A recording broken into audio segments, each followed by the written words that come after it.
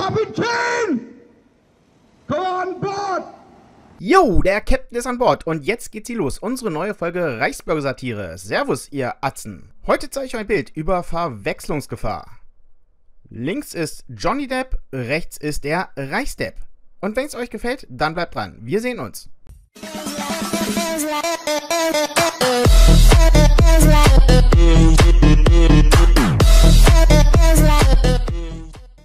Never change a running Systemling heißt es doch. Und da die letzte Reichsbürger-Satire so gut angekommen ist, gibt es deswegen für alle, die am 10.8. ihre Portion aufgegessen haben, einen Nachschlag.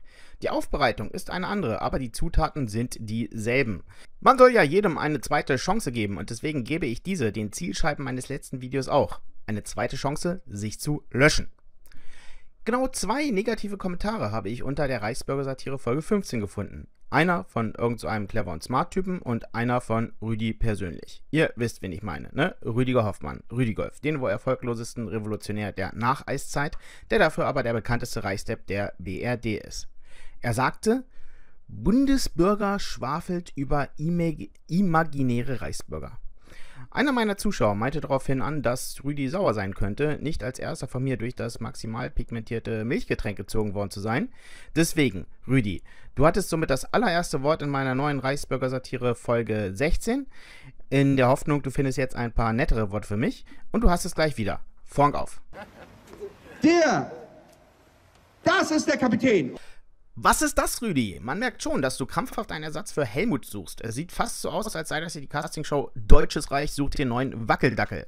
Vielleicht solltest du da aber eher mal nach Mallorca fliegen und nach der Playa gucken, denn da soll es laut Hörensagen ganz viele Helmuts geben.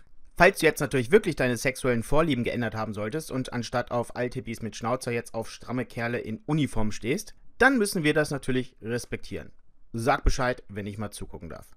Im Übrigen finde ich es echt erstaunlich, wie gut ein C&A-Anzug zur Geltung kommt, wenn man sich die entsprechende Kappe dazu aufsetzt. Vielleicht gibt es bei Primark auch noch eine Sonnenbrille dazu. Vor allem aber, wie kommt man an Leute, die diese Verkleidung bereitwillig auf einer Reichsbürger-Demo tragen und sich vor über 1000 Zuschauern auf YouTube zum Affen machen? Habt ihr in NRW die ganzen Karnevalsvereine abgeklappert oder habt ihr bloß dieselben Headhunter wie RTL 2? Erzählt mir das mal. Der nächste Kandidat bitte. Muschel, tuschel, tuschel, ne? Warte mal, hab vertan. Ja, lass, das geht dir nichts an. Machen wir in Paris klar, ne? Alles klar, Dieter. Okay. So. Ja, Jetzt, wo der große Rüdi mit dir spricht, da fühlt sich das erste Mal in deinem Leben erwachsen und ernst genommen, war, sodass das gelbe Quietscheentchen, was du in den Händen hältst, auch wieder zurückstellen kannst. Ja, trau dich, auch wenn es dein einziger Freund ist. Na, die Hände hältst du aber so verschränkt, als hättest du es wieder mitgenommen, ne? Du Schlinge. Kommen wir zum Gesagten. Machen wir Paris klar, genau. Also, wenn ihr damit die Hilton-Tochter meinen würdet, hättet ihr beiden da wohl nicht den Hauch einer Chance. Mit der Ische, die neben dir steht, hast, bist du schon gut bedient. Ach, ihr meint die Stadt Paris. Ja, okay, ich vergaß, dass es im Euro-Disney auch ein Piratenschiff gibt. Vielleicht heuern die euch ja an und ihr könnt dann den Zuschauern winken. Rüdi, aber mal eine Frage. Was soll überhaupt dieser lächerliche Seeräuberaufzug? Auch wenn man zwar anerkennen muss, dass du tatsächlich mal gebrandschatzt hast, also siehe Flüchtlingsheim, und du damit neben Gerwald Klaus Brunner einer der gewalttätigsten Piraten der deutschen Jetztzeit bist, du als Seeräuber würdest kläglich auf dem Boden des Mittelmeeres verenden, irgendwo zwischen Flüchtlingen und Identitären. Oder auf den Grund des Dümmer Sees zwischen Nazis, die beim Saufen ertrunken sind.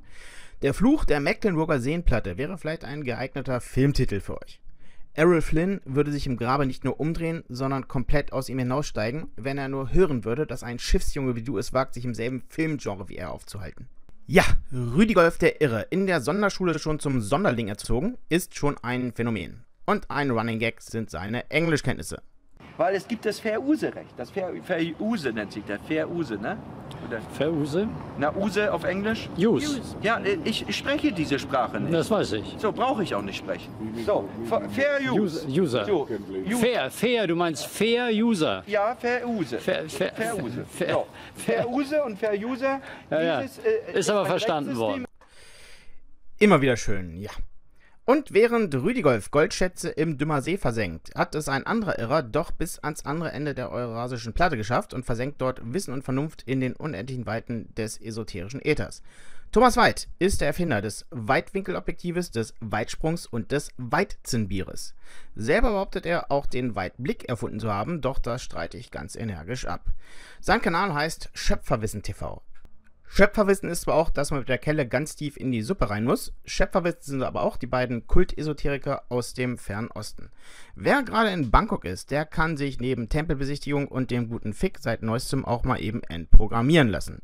Die Endprogrammierung ist eine Gehirnwäsche, die auch die großen Windungen entfernt. Ein Rückbildungskurs auch für Männer quasi. Nun gut, bei denen, bei denen er es versucht, ist nicht allzu viel installiert. Aber dennoch macht es ihm sehr viel Arbeit.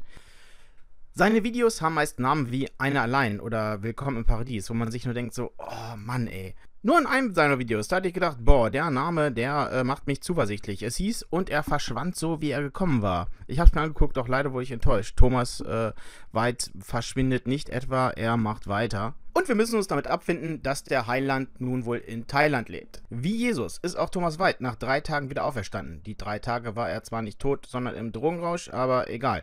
Und auch Thomas White hat Jünger. Also rein vom Aussehen her sind wohl die meisten Menschen jünger als er, aber er hat auch Anhänger und Propheten. Einer von denen wird sicher noch ein Evangelium über ihn schreiben. Fälschlicherweise hatte ich in der letzten Satire vermutet, dass Thomas und Julia keine Kunden hätten, doch als hätten sie das mitbekommen, sprossen danach die Erfahrungsberichte wie Eiterpickel aus Thomas Haut. Guckt es euch selber ein, es ist eigentlich jedes Video sehenswert. So, und äh, ich halte mich mal kurz, ich verabschiede mich äh, für heute und wünsche euch noch einen schönen Tag. Bis dann, macht's gut, ciao.